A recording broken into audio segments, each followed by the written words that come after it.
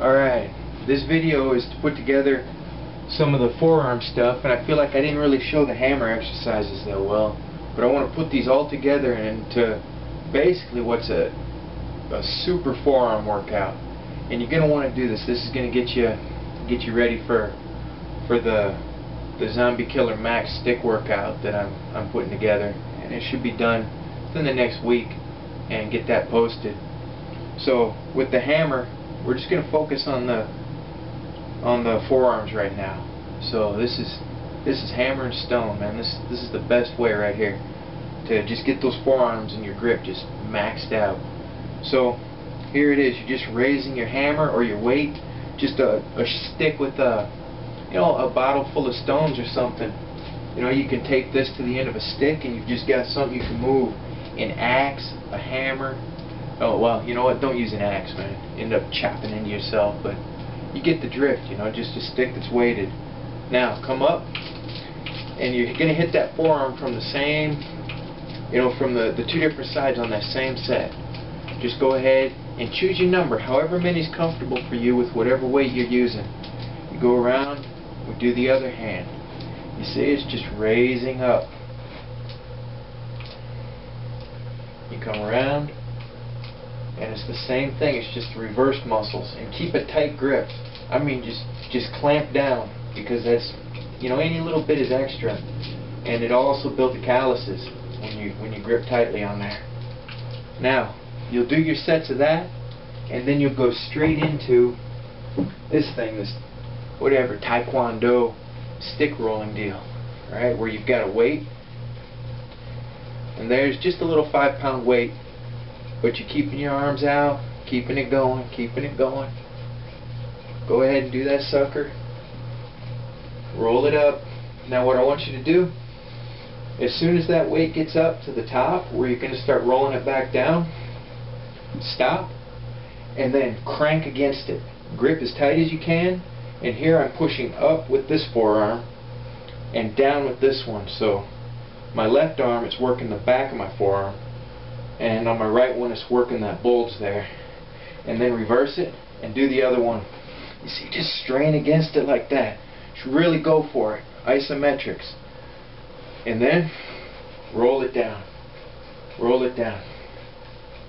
And do whatever weight you're comfortable with. Again you can do this sucker with you know a, a milk jug with some water in it um, a water bottle that you find. You put some sand in it and tie that to your rope and just blast the sucker up. Blast it up. And when you're letting it go down, letting that weight down, control it. Don't let it just slip through your hands. And this is getting your shoulders, everything. Alright. You put that down.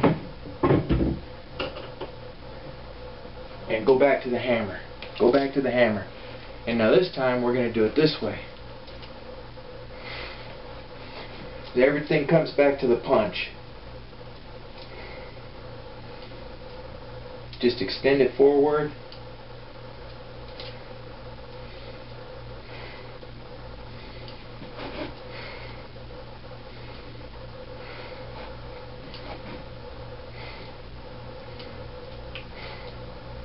Switch hands.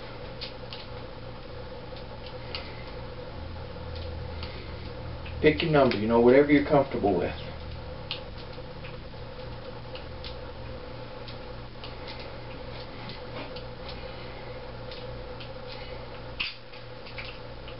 So, there you go. And now, here's the next one with the hammer. This one, you do the blacksmith, where you come up, but instead of coming back down, you're going to bring it up, and in a single motion, over your head. You see that? Up, up, up, up. Now this is a killer, killer, killer workout.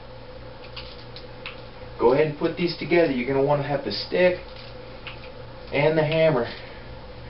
You want to do it there? Go ahead.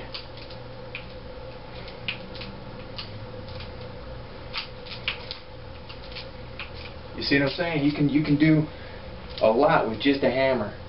And I'll get into more later where this is really going to build your punch and that, that snap at the end where you get it in there. I mean, it's blowing my mind. We got nice heavy bags at the gym and I'm really sinking them in. They're really sinking in good now. You know, I got to make up for for the fact that I've got kind of slow hands.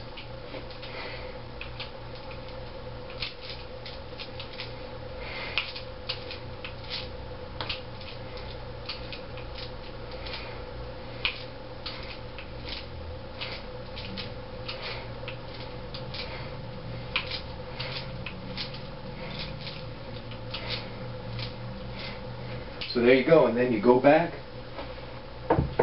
and roll that roll that sucker up. Roll that sucker up. And then you would go from this after you've burned your forearms good, do your ladder punches. Do those ladder punches. Go, do them, do them. You can make these just arm punches because it's it'll tend to be kind of uncomfortable standing static like this and pivoting too much. So let your shoulders go into it. Burn those up. And you'll really feel that in here. And then when you get on the heavy bag later, you're going to notice, man, these gloves feel like nothing. Punch hard.